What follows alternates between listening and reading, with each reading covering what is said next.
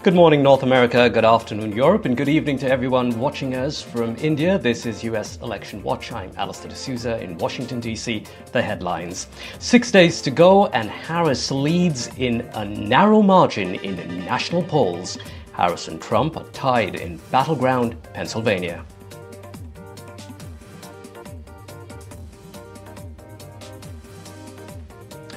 The US economy remains strong, 2.8% growth reported in the third quarter. The data comes as the economy remains the top election issue.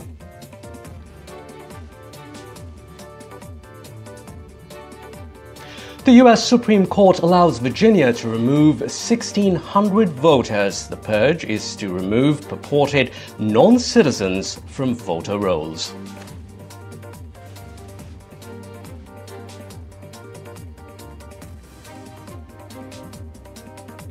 Now, six days remain in what's looking like the closest race in US election history. And yes, the polls show the same story as Kamala Harris's slim lead appears to dwindle. The latest Reuters Ipsos poll shows that both Harris and Trump essentially are neck and neck in the national polls, with the vice president maintaining a narrow single point lead. Meanwhile, the swing state in focus for the two camps today is Wisconsin. Harris is holding a rally at the University of Wisconsin.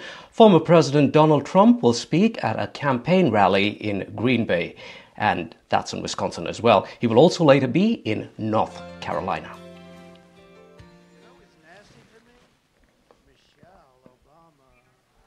Now, uh, as Kamala Harris sets off on a final sprint through the key battleground states, uh, she held a massive rally in Washington, D.C. on Tuesday evening. Now, some estimates put the crowd gathered at 75,000. Harris's pick of that venue was to make a statement. Her closing argument speech took place in an area near the White House where Donald Trump held his rally on January 6, 2021. Now, remember, hours later, thousands of his supporters stormed the Capitol and disrupted the certification of Joe Biden's presidential victory. Let's listen in to what Harris had to say in her speech on Tuesday night. America, we know what Donald Trump has in mind more chaos, more division, and policies that help those at the very top and hurt everyone else. I offer a different path, and I ask for your vote.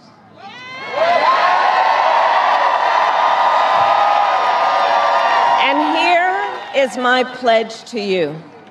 I pledge to seek common ground and common sense solutions to make your life better. I am not looking to score political points. Now, Indian Americans have long leaned Democrat and still continue to do, but that bond is not as strong as it used to be, with many more leaning Republican in election 2024. Now, that's according to a recent poll by the Carnegie Endowment for International Peace. Here's a closer look at the Indian American vote and why it matters in deciding who wins the White House.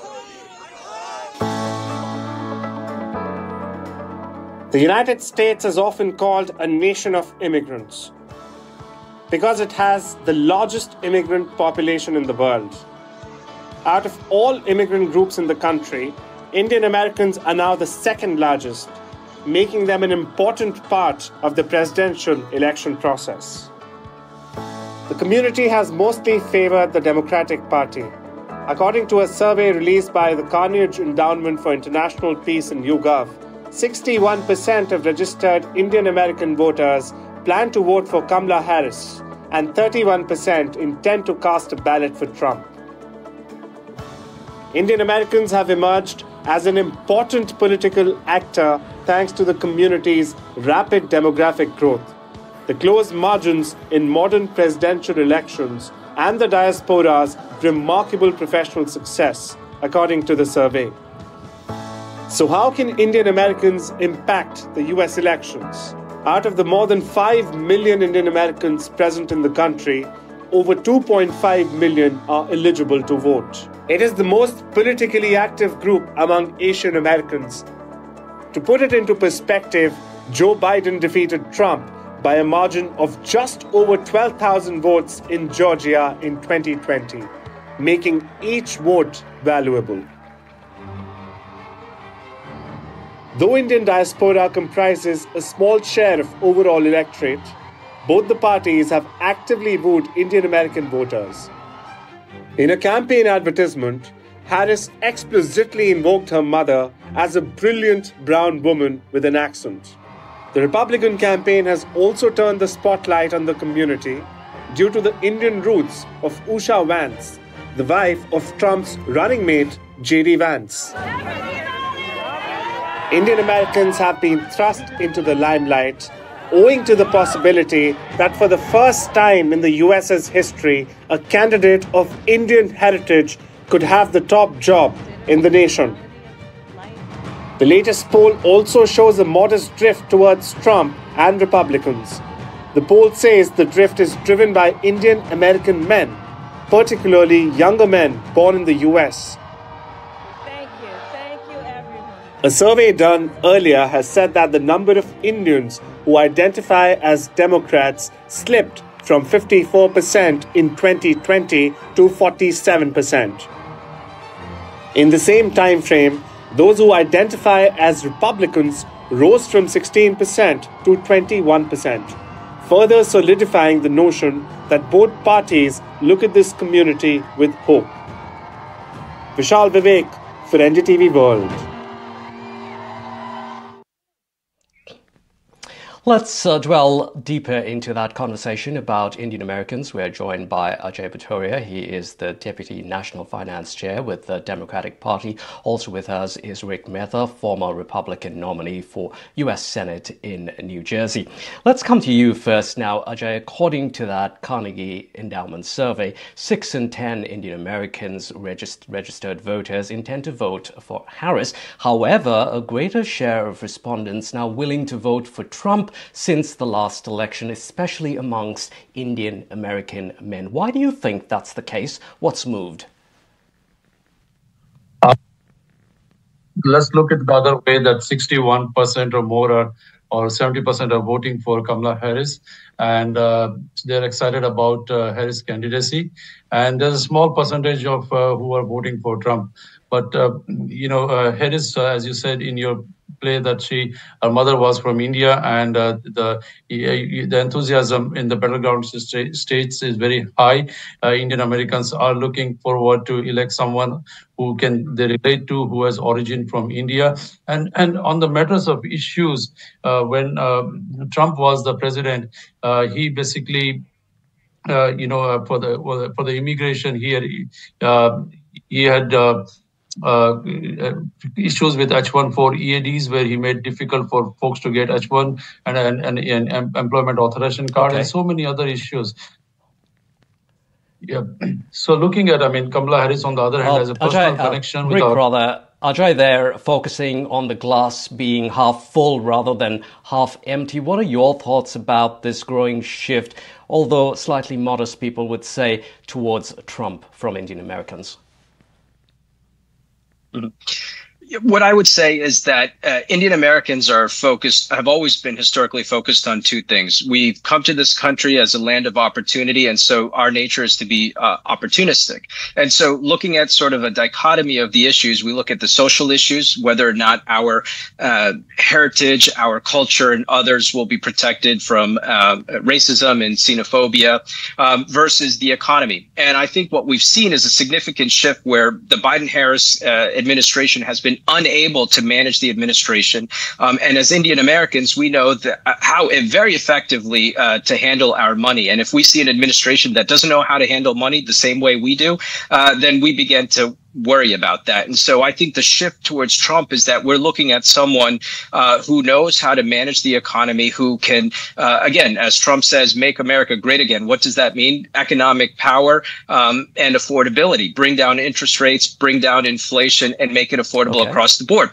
We've also seen the end of affirmative action, which has unfairly discriminated against the Indian American community, which Trump supports. And I think that's really important to the future generation of Indian Americans and our students. And and we see uh, the significant involvement in government, in in our family lives, and in our schools. And as proud Indian Americans, we care about right, our family, we care about our schools, and we care about our economy. All right, we're also joined by Robert Shapiro. He's a political science professor at Columbia University. Welcome, Robert. Now, Robert, you've been listening in here. Now, one of the things that the survey also did was to ask respondents who they would support if November's presidential election was between two Indian origin candidates, hypothetically speaking, Nikki Haley on one side and Kamala Harris on the other. Now, 61% favored Harris, while only 20% favored Haley. What does that tell us about race? Race not being as important for Indian Americans as compared to what the party may stand for. What would your take be? Yeah, I, I agree. I, I agree with you on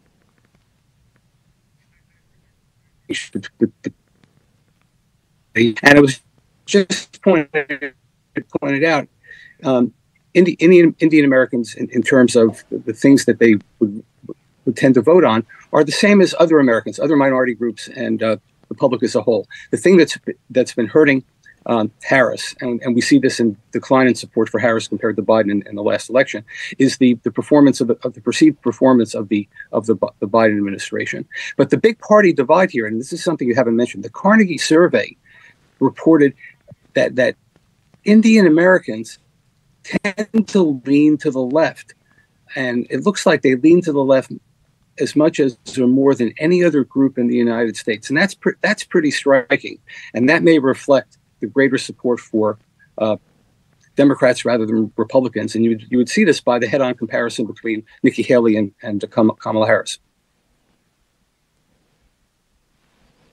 But we're also hearing from that survey, Robert, some of which we asked our guests, uh, Rik and Ajay, about, is the fact that that kind of lead or that love with uh, towards Harris is somewhat weakening now, modestly. So where Trump is uh, seen seen to be more in favor. So why do you think that's the case?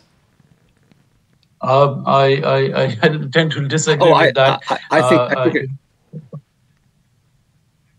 uh, that's for Robert. Please, Robert, go ahead. Oh no, I, I, I think I think what that's reflecting is that the election is really coming coming down to an, an, a, for many voters the assess their their assessment of the Biden the Biden Harris administration, and that re, and that reflects the, the, the weakening of the support for well for Biden compared to 2020, and by by inference here also Harris compared to Biden to Biden in, two, in 2020. All right, uh, just one quick question uh, before we go here for Ajay, uh, very quickly here. Let's look at how some of those uh, people responded as far as the birthplace go. Now, amongst American Indian respondents born abroad, let's say India, both men and women, show high support for Harris, but the pattern really shifts when looking at US born respondents. US born women favor Harris hugely, but US born men sharply support Trump. So, why do you think that's happening?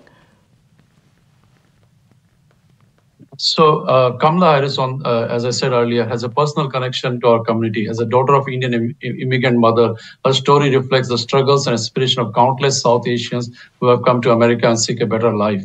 And uh, uh and that uh, narrative, uh, Harris has often shared. Yeah, but why are young men not really supporting her anymore as much as they used to?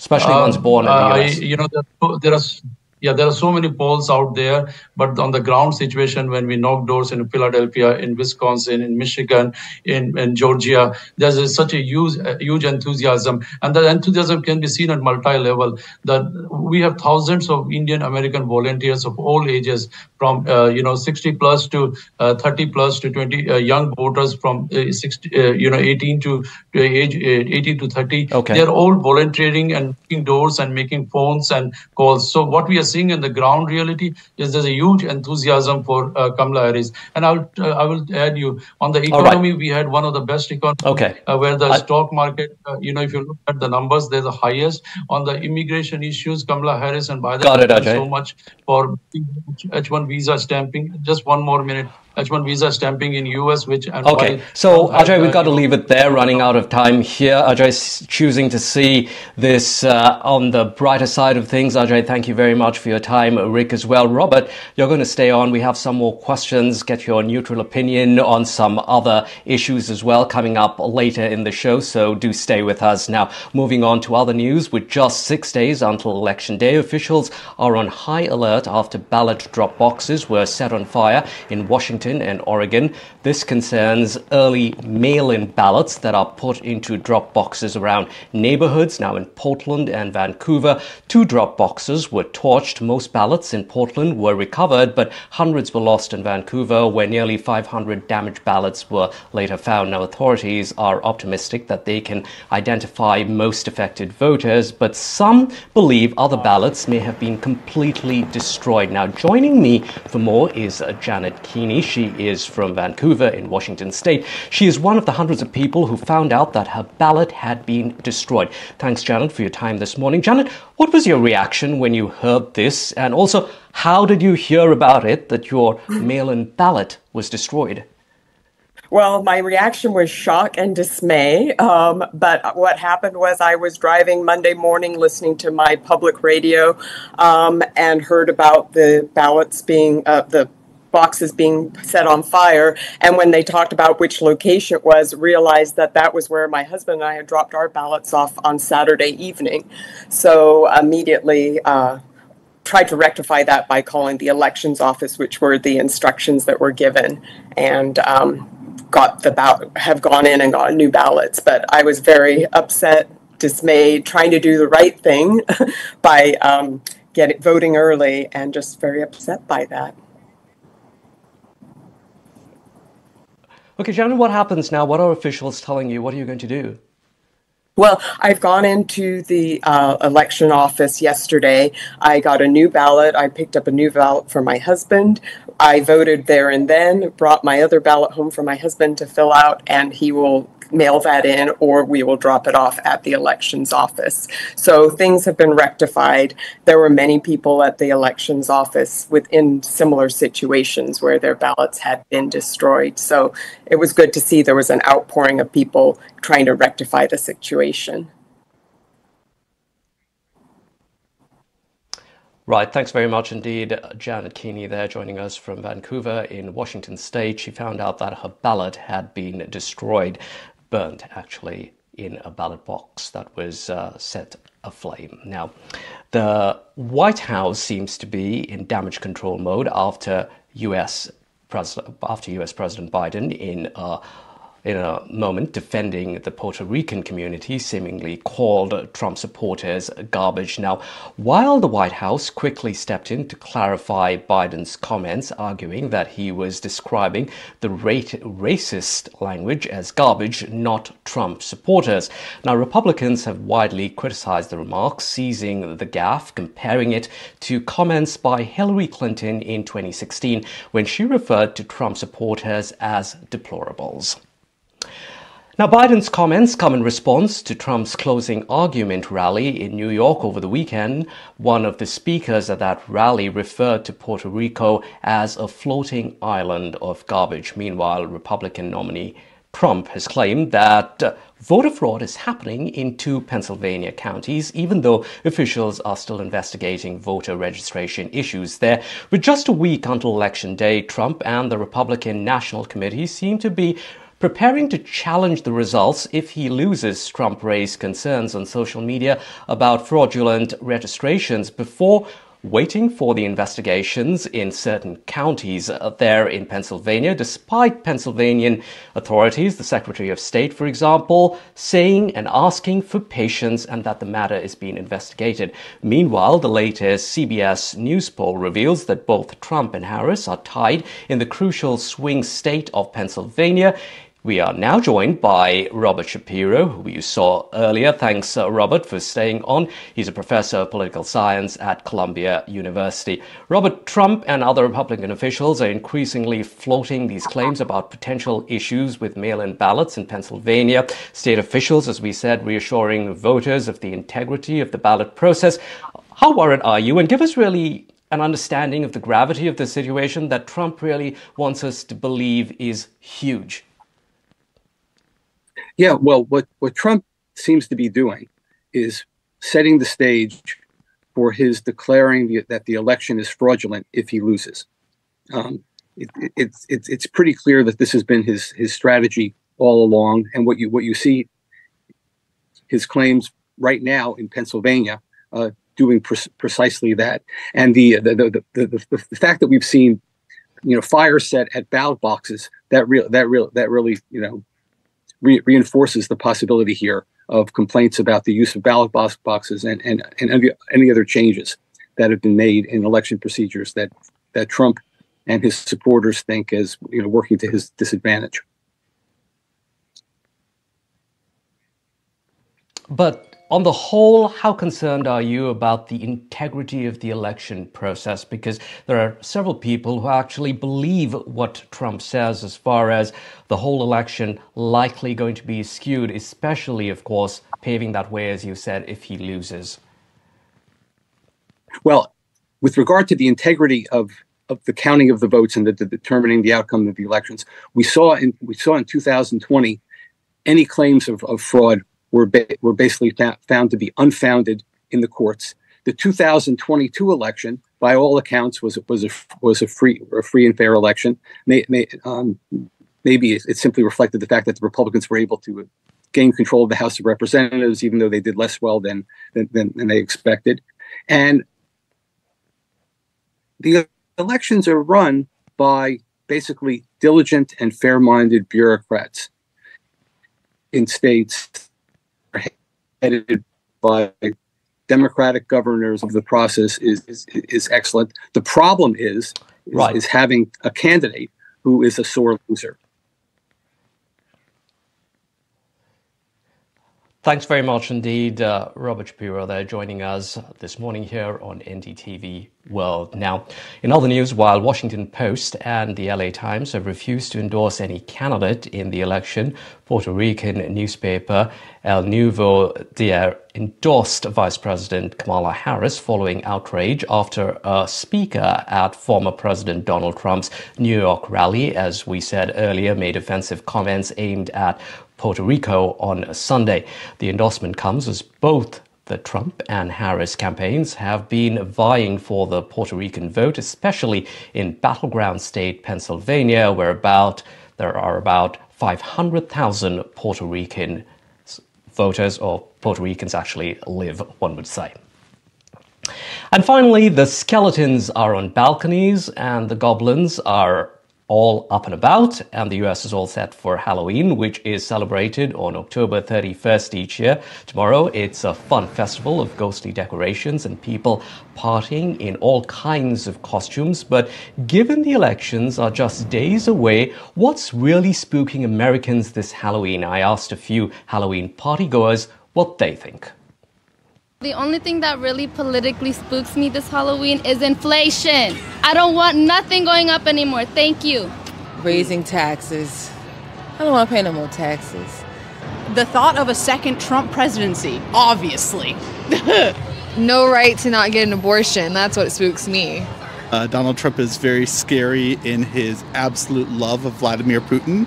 Uh, his rallies are pretty scary as well. I mean, there's nothing spookier than the Trump administration. Okay, what are you dressed up as? Uh, I'm actually from outer space. I'm a space traveler. The fact that women's bodies are up for debate and what women do with their bodies, like that, that's so crazy to me and it's so spooky because it's almost like a dystopian. Trump administration. Anti anti-immigration, anti-abortion, yes. um, pro-life Exactly. So I am an immigration attorney, and I know that Trumping winning the election is going to be so spooky for us immigration practitioners because, like, I remember last time he just like it was every day it was a new thing. Like he changed the law every day, and it was like chaotic. So that's what spooks me. And what are you dressed up as? I'm Minion. And you? I'm Fiona, and this is my Shrek.